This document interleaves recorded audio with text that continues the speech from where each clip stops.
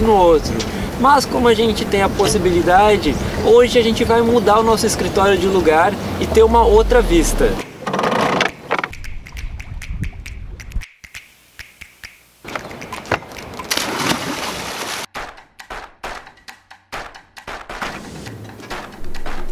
Trabalhar Bem-vindos a bordo. Eu sou a Marina, esse é o Michel e nós moramos no mar. Estamos transformando um veleiro abandonado em um portal para novas aventuras. Quer embarcar na nossa casinha flutuante? Vem com a gente! Vem! Uma das coisas que mais nos influenciou na escolha de um barco para morar era poder ter o nosso escritório do nosso jeitinho que a gente pudesse levar para qualquer lugar e seguir viajando, conhecendo os lugares, mas ainda assim trabalhando naquele ambiente que nos dá um bom conforto, que nos mantém produtivos. Então o barco nos proporciona tudo isso e às vezes a gente pode mudar de local, ter uma nova vista e tudo mais. Isso é uma coisa muito legal do trabalho remoto que está cada vez crescendo mais. Em vez de a gente pegar um trânsito danado para chegar no escritório, a gente prefere pegar o escritório e levar ele para um novo lugar.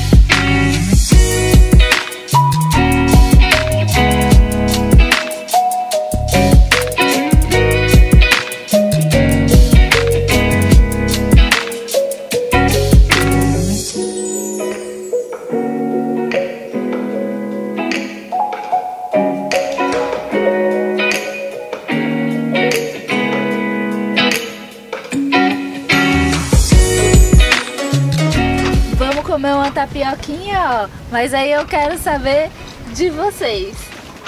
Quem iria com o leite condensado e quem iria com a maionese?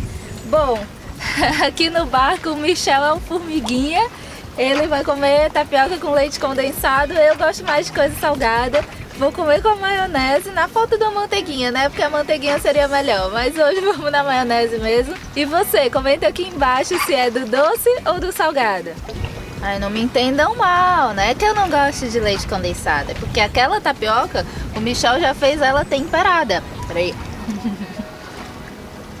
já fez ela temperada, então ela tava com tempero salgado.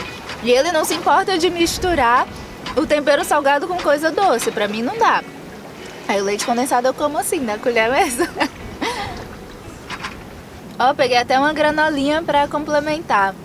Mas seja doce, seja salgado, sua preferência, o que é definitivo é que velejar dá fome. A gente, ou se a gente não faz uma pausinha pro lanche, a gente fica faminto, ou a gente tem que comer no meio, senão cai um para cada lado.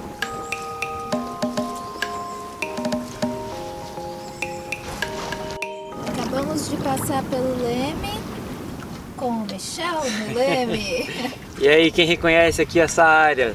Fazia tempos que a gente estava querendo vir dar uma aproveitada por esse lado, trazer o nosso escritório para um outro lugar, ter Copacabana como visto do nosso escritório. A gente aproveitou que hoje o tempo estava bom, não tem, uma, não tem quase nada de ondulação, então a gente vai experimentar essa ancoragem aqui próxima a Copacabana.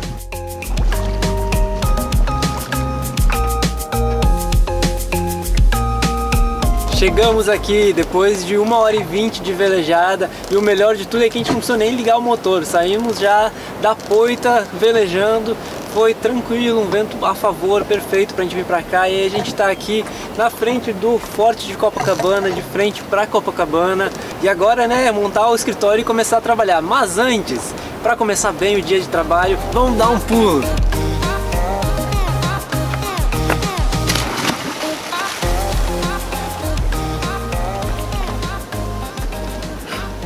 gelada! Imagino que tá gelada. Acho que é um, é um jeito bom de começar o trabalho, não precisa nem do café. Acordar, né? Uh!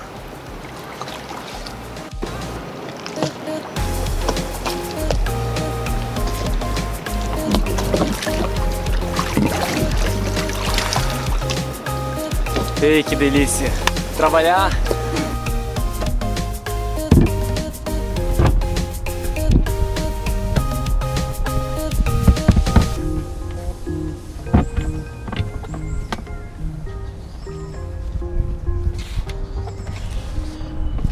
escritório montado. Quem nos acompanha lá pelo Instagram sabe que a gente está desenvolvendo um super projeto. Já faz um tempinho que a gente vem trabalhando na produção de um livro que é sobre um momento super importante na nossa vida pré-compra do barco, que foi o período em que a gente estava juntando dinheiro para comprar o barco. Nós fomos trabalhar em navio de cruzeiro e aí quando eu voltei do meu primeiro contrato, eu tinha muita história legal para contar. Então antes de comprar o veleiro, eu naveguei pelo Oriente Médio, Austrália e Ásia. Então eu acabei escrevendo esse livro com histórias e fotografia do tempo em que eu passei oito meses embarcado.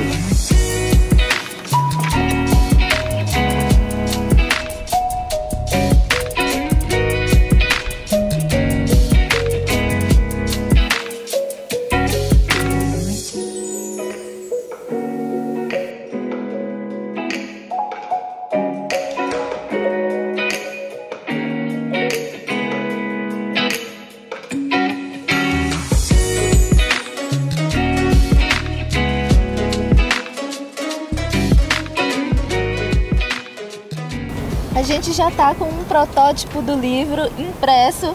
Essa daqui é uma das minhas fotos favoritas, na Coreia do Sul.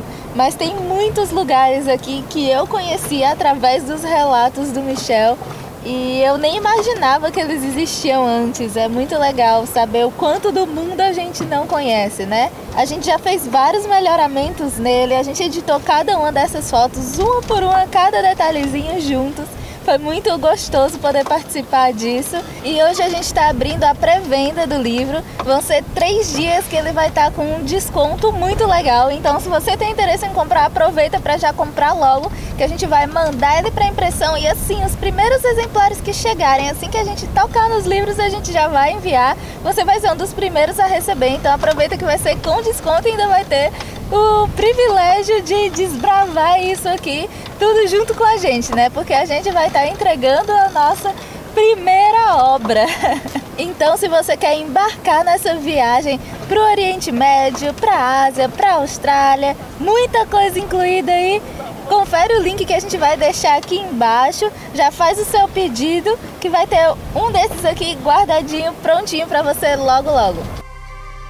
Além do Mar revela as experiências mais marcantes e bizarras de um jovem fotógrafo que decidiu navegar para o outro lado do mundo em um navio de cruzeiro.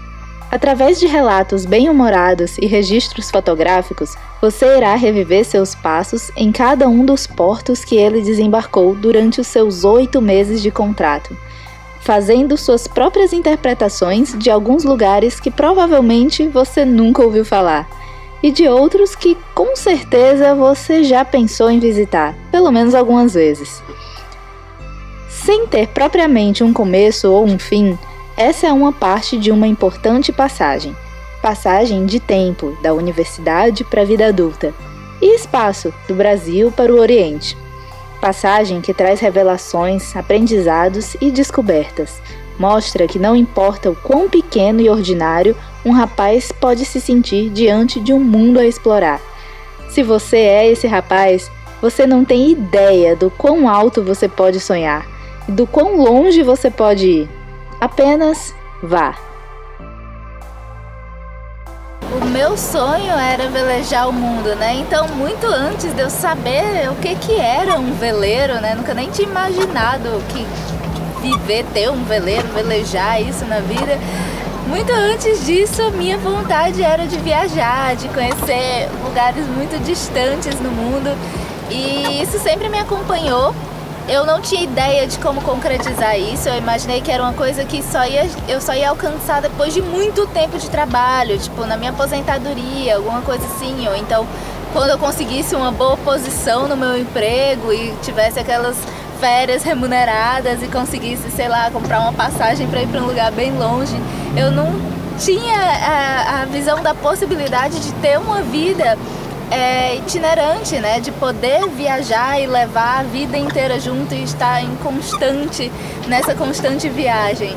E isso me surgiu mais ou menos na época que eu conheci o Michel, que foi a possibilidade realmente de ser nômade. E a gente chegou a essa conclusão juntos, eu nem lembro quem foi que propôs, se foi eu ou se foi ele, mas a gente chegou à conclusão de que a gente queria poder viajar e trabalhar e levar tudo junto e ter essa vida de estar tá sempre em movimento, né? É até daí que vem o nome Motion Me, de movimento, de estar em constante movimento.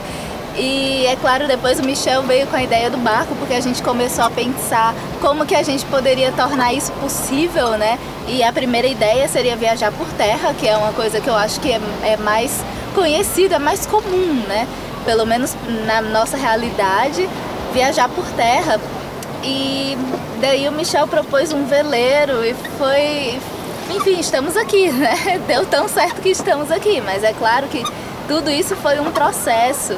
E a gente vai contar muito mais dessa história de, do que nos trouxe até aqui, de como a gente conseguiu sair do, chegar à conclusão de que a gente queria viver assim e depois sair do sonho, né, e transformar tudo isso numa realidade, poder concretizar e estar tá aqui no nosso veleiro hoje. A gente não sabia nada de veleiro, não, nunca nenhum dos dois tinha velejado, a gente nunca nem tinha entrado num veleiro, então foi assim do zero até agora e a gente, claro, ainda está aprendendo, né, aprendizado sempre mas a gente vai contar tudo isso sobre como foi essa trajetória na palestra que a gente vai fazer no dia 3 de agosto no Congresso Velejando pelo Mundo. Então, se você quer acompanhar como foi, a gente vai falar mais sobre como foi o nosso planejamento, como foi a questão financeira para a gente conseguir o dinheiro para comprar o barco e a gente vai estar tá contando todos esses detalhes na palestra. Você pode se inscrever, a gente vai deixar o link aqui embaixo. Ela é gratuita, online, então não tem desculpa. Já garante sua vaga para não esquecer que está chegando. E tá na hora, Marina. Pois é, tem ancoragens que é tranquilo de ficar mais de uma noite, vários dias. A nossa ideia hoje era vir para cá cedo, passar o dia aqui trabalhando. Como Copacabana fica exposto ao mar aberto, caso entre um vento forte ou ondulação, não é seguro a gente ficar aqui. Então, bora voltar pro nosso cantinho.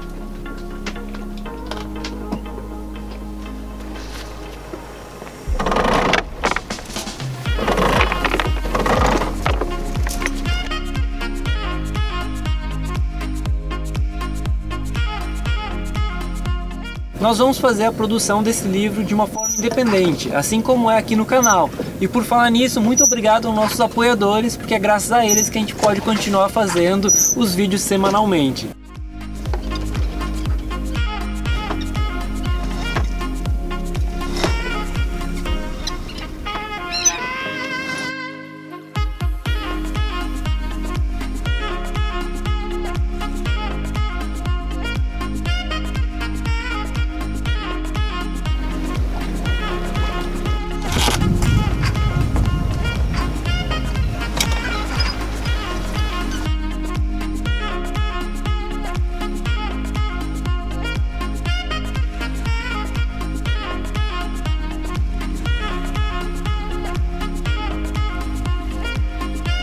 Estamos agora voltando com a asinha de pombo, vento nos levando na direção certa. E bom, o trabalho aqui não termina nunca, né? Mas o vídeo da semana vai terminar por aqui. Até semana que vem.